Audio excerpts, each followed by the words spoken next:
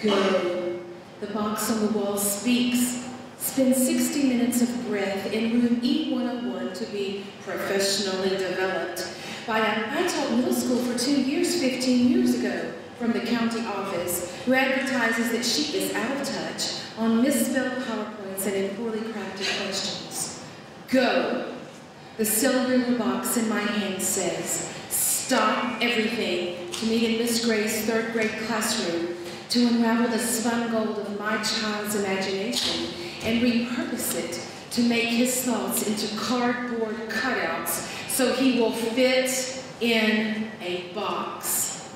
Go, the desk calendar with its boxes and boxes and boxes printed on a page whose lines bar time and take prisoners commands that I go and meet and buy and sign and fix and kiss and wave and pack and make and feed and drive and go. Go. So I go.